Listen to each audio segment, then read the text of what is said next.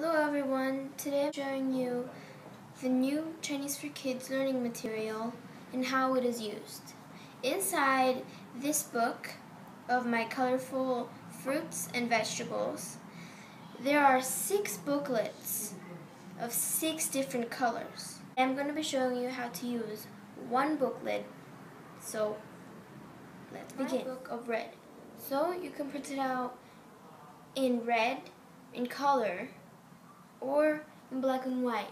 Color is recommended for teachers because you can like cut them cut the pictures up and place them around the classroom or houses. And black and white is recommended for students since they can study by themselves and make little booklets out of it. You can see I have cut up both the books. And for the, the teacher's books, you as you can, as I showed, told you before, this is the front page where you write this book belongs to and your name here. As you can see, we, the teachers can take these little sheets of papers with the fruits and names on them and hang them all around the class, like so.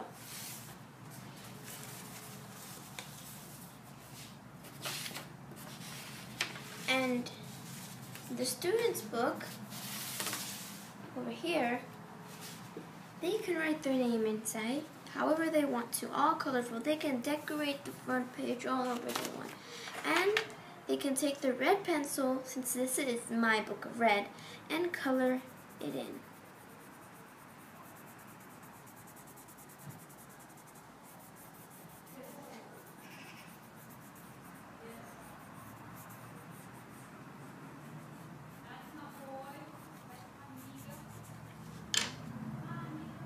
And after the children have finished learning the vocabulary of this little booklet, they have to staple this side here so it will turn out like an ordinary book.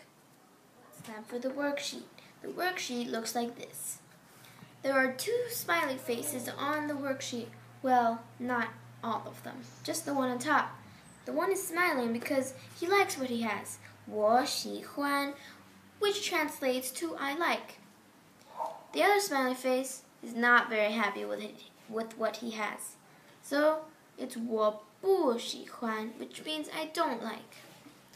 So on the right hand side, there are lots of nice colorful pictures. And then next to that, there are other characters. So don't be fooled because the characters do not match up with the pictures that are next to it. So, what you have to do is use your scissors and cut up each square and match them. You see, I have done cutting all of little squares and here is the worksheet on the side. Now, I have to match them together.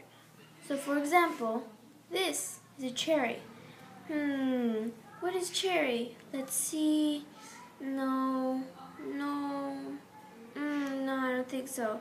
There it is. Okay. Ying Tao. Now I match them up. Now I find the apple. Let me find if I see the apple. Mm-mm, I don't think so. No. Yep, there it is. It was hiding from me. Now, I take the strawberry. Let's see. Mm, no, no, mm-mm. Uh, ah, there it is. See, he was hiding from me. So, you get the idea. It's done. So, we take back our good old worksheet over here. And, remember what this is? Remember what this is? Alright, I'll tell you. This are the fruits or vegetables that I like. And here, I don't like it. So, let's start. I like cherries very much. So I'm going to put cherries in the I like section. I also like apples very much. So I'm going to put my apples in the I like section. I also like strawberries. So I'm going to put it in the section above as well. now you know how to use this oh, little booklet all by yourself. This, remember, is one out of six. I hope this tutorial inspired you a bit to go on ChineseForKids.net. So, thank you for watching. Till next time.